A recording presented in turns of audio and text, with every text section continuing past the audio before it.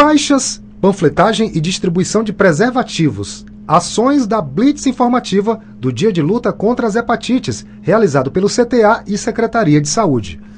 Hoje nós estamos num evento onde está sendo o teste. Após o teste tem a vacina, o teste sai em 15 minutos e você já sai sabendo se você tem hepatite B ou C e já entra com a vacina, né, que é uma forma de proteção que é necessário. O objetivo da abordagem no trânsito era conscientizar. É muito boa, tem que fazer, para a gente saber, né? Porque às vezes não tem, a gente não está sabendo qual o problema que a gente está sentindo, né? Às vezes é bom de fazer, porque aí a gente fica prevenido, se previne, né?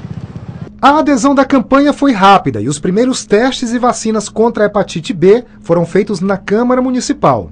Se esse teste né, nos der positivo, essa, esse cliente ele é encaminhado tá, para ir fazer um teste aonde ele vai ter a certeza se esse teste de hepatite B está positivo, como também de hepatite C. Tá? Então é um teste de triagem. Ao saber da ação, Dona Carmina veio logo cedo para fazer o teste. É porque eu sinto muita dor no meu, meu fígado. Aí, meu fígado para minhas costas.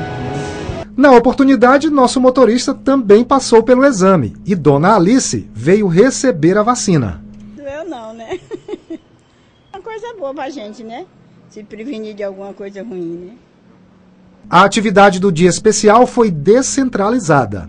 No dia de luta contra as hepatites virais, foram disponibilizados quase mil testes rápidos no CTA, Câmara Municipal e 12 postos de saúde. Olha, a vacina para hepatite B, né, visto que não existe a vacina para hepatite C, dessa vacina ela está disponível nas unidades básicas de saúde. Das pessoas interessadas, é só procurar a unidade de saúde do seu bairro, tá? E ela será orientada, receberá todas as informações necessárias à vacina de hepatite B.